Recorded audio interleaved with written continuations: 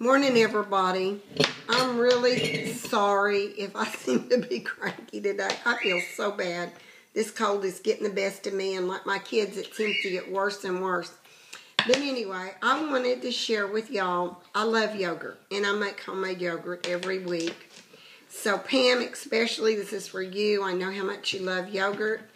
Um, I made a jar, I made a half gallon. This is only a quart jar. It's only half of it. What I made yesterday. And I started this video once and I had to start it over because a cute little blue-eyed blonde-headed boy kept causing problems.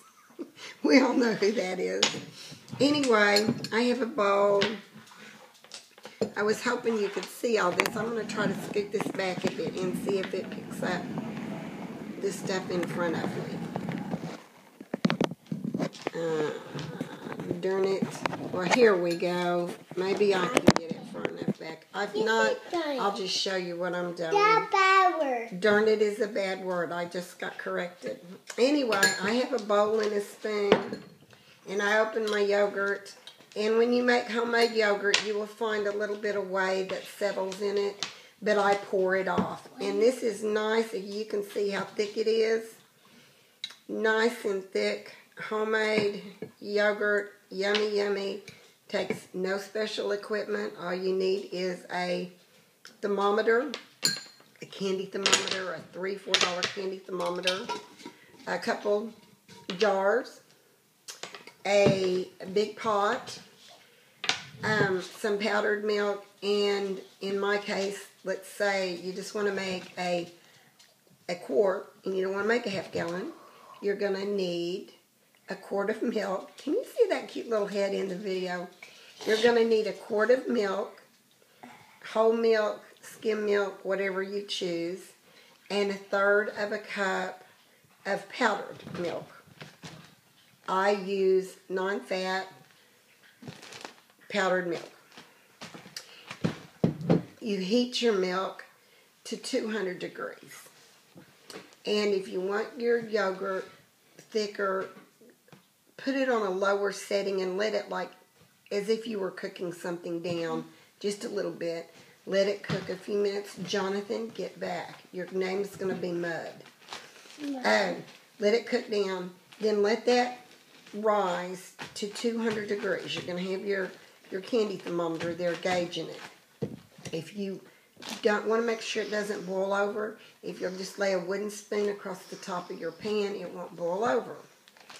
The next thing you do is once you that reaches that temperature, move it off the heat source. And uh, dogs, be quiet. And um, immediately add your one third of cup of powdered milk. Now, you may have some skim on the top. You can remove that. You may have some that has formed on the bottom. Don't worry about that because down the road you can use a uh, you can I just use a strainer and strain all that off. So it doesn't matter. You don't have to be particular. You just don't want it to burn. Once that your milk boiled with the powdered milk in it goes down to 100 degrees. Once it cools to 100 degrees, then you're going to want a yogurt starter.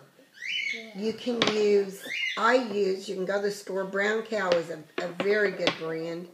But what you're going to want is you're going to want to get either Greek yogurt. I think Oikos doesn't have anything but milk and live bacteria in it. That's what you're going to look for. You don't want any with pectin or mm-hmm. anything else in it. You don't want any fruit in it. You don't want any sweetener in it. You want plain yogurt.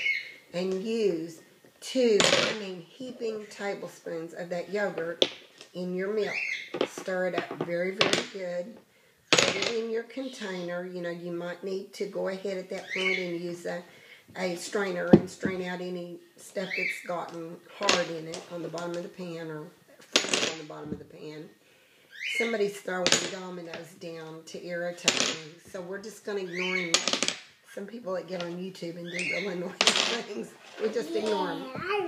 Anyway, um, at that point, I use a styrofoam ice chest and I fill it with water that is about 110 degrees. Me, I've done it so long, I just do it. I set it in my bathtub, fill it from the bath spout, and set your yogurt with a lid on it down in it. You can, oh, you know, submerge it halfway or less. It's fine. Put the lid on it. And in about three hours, check to make sure it's setting up. If it's not setting up, add a little more hot water to the mix. It's just not warm enough to get the cultures going. At that point, if you like a very, very mild yogurt, stop at about five hours, six hours. You can go on up to 12 hours. I like to be able to smell that yogurt and taste that little bit of thyme. Once you've done that, you are going to see liquid formed around in the jar. Don't try to drain it. Set it in your ice box. Let it set up, and you can drain any whey that is formed. There's not going to be that much. And you enjoy. Oh. Me, at all times, I keep frozen, different kinds of frozen fruit in the freezer. And how you do that is you, Jonathan, you're getting ready to get in big trouble. Please be quiet. How you do that is you can take a cookie sheet, put your fruit on it, put a piece of wax paper on it, put your fruit down on it in a single layer, stick it in your freezer, let it freeze, and then put it in your container. And what happens is your fruit's not all stuck together. So I have a mixture of blueberries, and strawberry slices, and I'm going to put them in here. And see, some of mine is stuck because I've had it out of the freezer before. And then to that, I made a mess. Took it on my pajamas. I, because I'm constantly trying to lose weight, and because my husband's a diabetic, we use Splenda. Scoop of Splenda, tablespoon of Splenda, whatever you want to use. And of course the camera's on too. And on top of that, a little homemade granola. Mm, puts that little crunch in it.